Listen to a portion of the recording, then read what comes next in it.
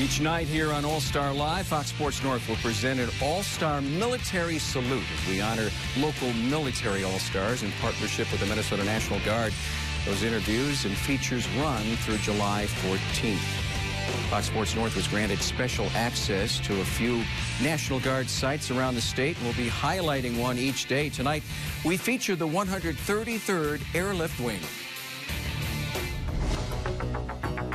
We have a two-part mission, one to fulfill needs of the state and one to fulfill the needs of the nation. We're continuing to train uh, airmen to respond to either the nation's needs or the state needs. Every day there's, you know, local flying training missions going on to keep the air crews proficient, training missions to keep the Air Medical Evacuation Squadron, uh, flight nurses and med techs proficient in their mission. And all of that requires continuous aircraft maintenance, you know, uh, building maintenance, almost like a small industrial city in itself. We have eight C-130 aircraft that provide airlift support for the big Air Force. And what that entails really for us is a multiple part mission. We can fly cargo from point A to point B via normal takeoff and landing type uh, loading and unloading of the aircraft. Altitude, altitude. We also have an airdrop mission that allows us to load up cargo or troops, fly over a geographical location, and have that stuff exit the aircraft airborne. Clear. Red light, left turn.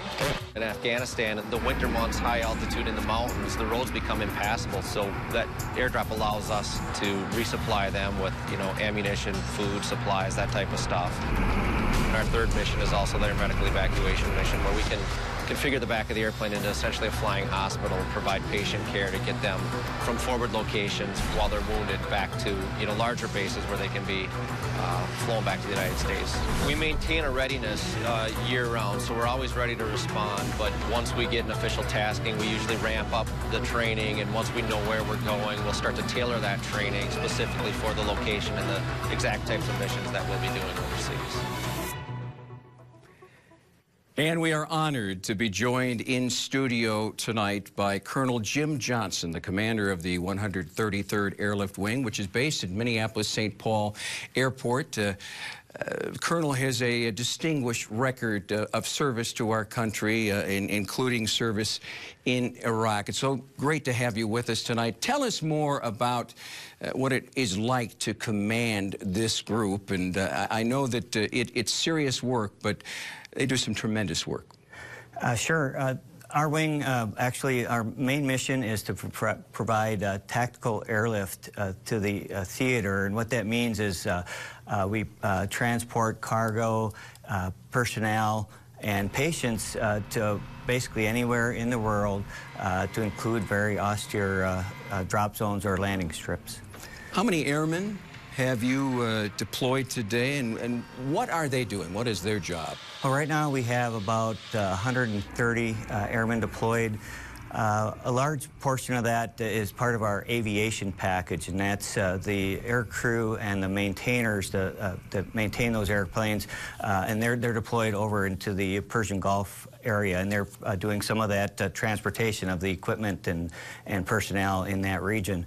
We also have a group of security forces in that same region, and, and they primarily are, are charged with uh, pr protecting the base and the aviation assets, the airplanes that are at that base. And then we have a, a third group uh, deployed over in Croatia, and that's actually part of a, uh, our partnership uh, for peace, a state partnership program that we have uh, with that country. And there's some civil engineers, and what they're doing is they're uh, rebuilding a school and, and, uh, uh, working with the local Croatian folks to rebuild that school. And I've, I've, talked with a few of those members that are doing that, and it's such a rewarding mission that they're just tickled to be part of that. It really is a wide variety of missions that you're involved with. Obviously, we know here in Minnesota, when there are issues, when there is trouble, the National Guard is counted on in our state. But uh, to hear the scope of things is certainly impressive. Thank you, Tom. Let's talk a little bit more about uh, your pride, because uh, you have said commanding this airlift wing is, is one of the highlights of your career.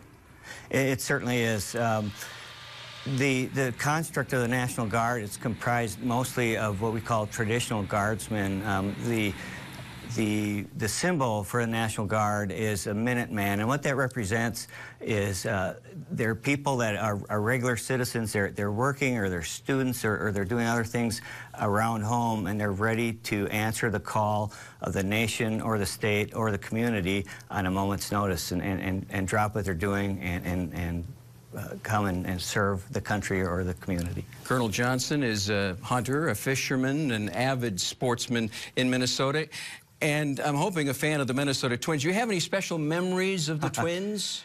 Oh, well, it's, it's certainly uh, hard to uh, not talk about the uh, 87 and 91 World Series. I, I happened to be stationed uh, uh, out of state at the time, so I wasn't able to uh, personally come to the games, but rest assured, I was cheering loud and proud, especially during the walk-off home run by Puckett and some of those other magic moments of those events. But most recently, I think the Twins do such a nice job recognizing organizations and, and, and people, and, and a family is certainly a big, big part of our organization. And, and earlier uh, this year, um, the uh, Twins recognized uh, some hockey players, high school hockey players, that were um, recognized as Hobey ba Baker Character Award winners, and I was a proud parent of one of those Oh, uh, wonderful. um, uh, members. So it was uh, really fun to watch that event, and to cap that all off, it was against uh, a very uh, quality uh, Baltimore Oriole team, but the Twins ended up winning that game, and I, I believe there's home run by uh, Mauer and Dozier on that game, so it was a very memorable moment. Well, let's get you to more Twins games if you have that kind of effect. Colonel Johnson, thank you so much for coming by, and thank you for all that you do and the folks in the 133rd as well. It is much appreciated. Uh, my pleasure.